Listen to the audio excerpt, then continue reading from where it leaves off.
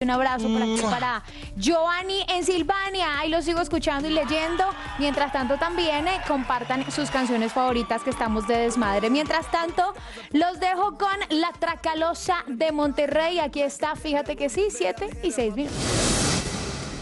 Seguimos desmadrándonos a esta hora. Ya saben que recibo sus llamadas también por interno para que se puedan inscribir por un millón de pesos, dos millones de pesos exactamente para su amigo secreto y para usted.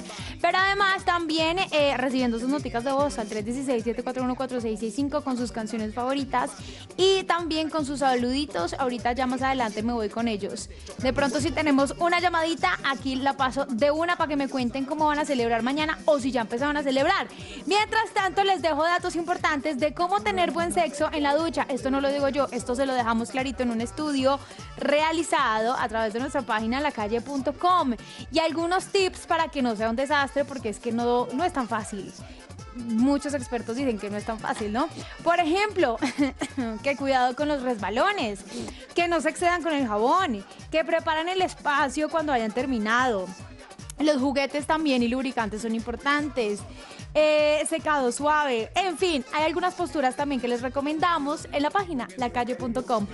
Esto para celebrar el amor y obviamente para los interesados quizás en hacer algo diferente. Creo que necesito como agua. Ayer justamente estábamos hablando de eso y es sobre eh, las cosas raras o diferentes que podemos hacer en pareja porque eh, casi que siempre caemos en una monotonía, ¿no? Y cómo podemos eh, como reavivar esa llama del amor, como esa, esa sexualidad y sensualidad en una relación después de muchos años, ¿no? Ya el matrimonio es de 8, 10, 15 años y de repente hay que hacer como ciertas cositas para que la cosa no, no se vuelva aburridora. Entonces, si ustedes tienen esos tips o esos trucos, pues me encantaría y nos encantaría poder escucharlos. Hola la calle. De repente... Eh, puede ser, por ejemplo, como una anchetica de, de, de cositas de cositas como de aseo, quiero decir como, no sé, si tiene barba, entonces para el cuidado de la barba, para el cuidado de la piel, no sé, cosas así que los hombres también son vanidosos y me parece una idea chévere. Cuéntenme ustedes qué regalarían de amor y amistad, qué vaina tan difícil. A mí esto me parece difícil. Yo prefiero, no sé, invitarlo a comer y sale.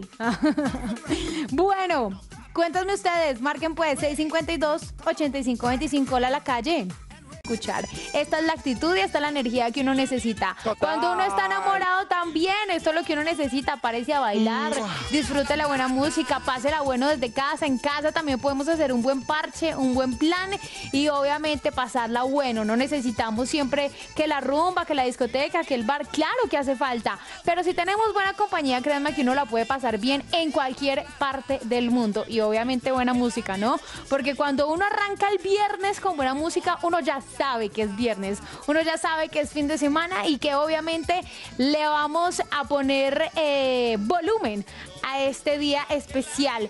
Quiero saber por acá qué más quieren escuchar. Esta canción me la pidió Gina a través de nuestro WhatsApp, La Plata de Diomedes, y aquí estoy para acompañarlos y para complacerlos. ¿Qué más dicen aquí al 316? 741-4665. Estamos celebrando desde ya amor y amistad y quiero que ustedes, por supuesto, eh, envíen pues sus mensajitos de amor o saluditos a sus amistades. ¿Listo? 316-741-4665. Ahí los escucho con sus noticas de voz. Nos fuimos con J Balvin. Aquí está Blanco.